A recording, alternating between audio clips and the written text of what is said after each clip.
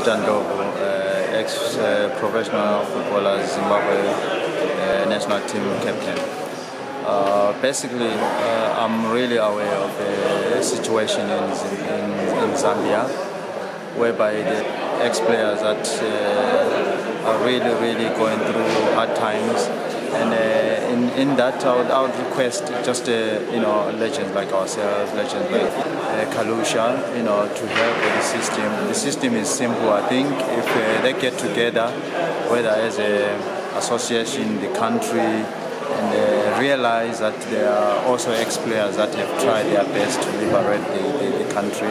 Uh, same as uh, what we are doing in Zimbabwe for ex-players. Uh, we form the Legends, you know, group whereby we help each other to overcome all these obstacles of life.